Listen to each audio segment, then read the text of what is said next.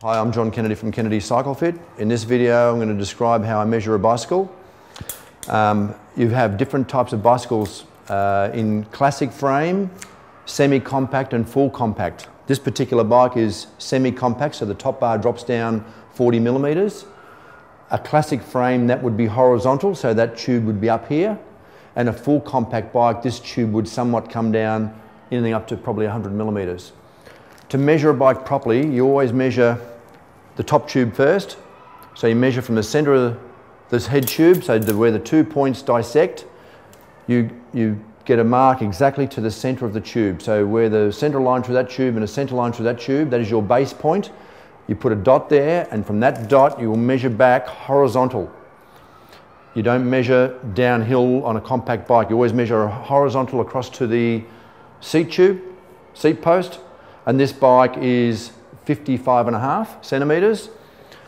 To, once you measure across horizontal, you'll put a dot here, what's, what is horizontal with a spirit level, and from that point then you can measure center to center to the dot, and you can then work out theoretically what a seat tube would be if it was classic frame, which this bike, if it was, would be a 54 center to center.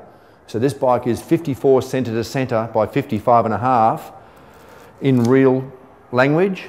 In compact language, it's 56 top bar uh, at say 21 inch, if you want to talk inches, or in compact, it's a 52 and a half.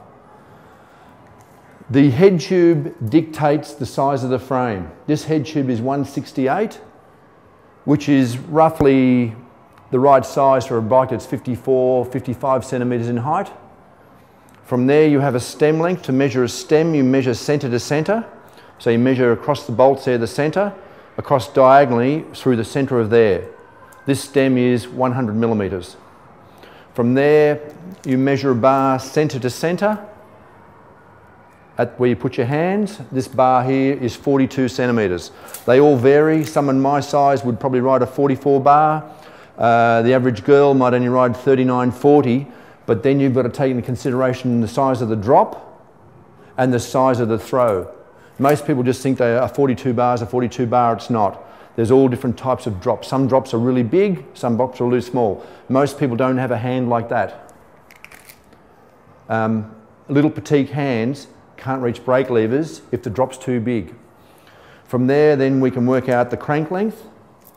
And the crank length, uh, they vary from 165 to 180 you can actually get custom shorter and custom longer. The most critical thing on a bike for me is the angle of the seat bar. Most people wouldn't know how to measure that, but the angle of the bar is in degrees, and the degrees generally, most bikes, the average production bike is sort of 73 degrees and steeper. Uh, but I feel sometimes that's too steep um, for the average person. And the angle can only be determined if you have an angle finder gauge, or you know how to do trigonometry, where you measure a straight line down through the bottom bracket and measure back how many millimetres there by the length of the seat tube. The seat angle on a bike is critical. The seat angle on a bike is dictated by your thigh length, gluteal mass, and foot size. Dictates how you sit on a seat and turn the pedals 360 degrees. Most people never get this right. That affects the balance of the bike.